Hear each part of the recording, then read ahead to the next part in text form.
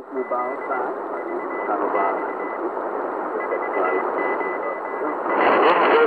you.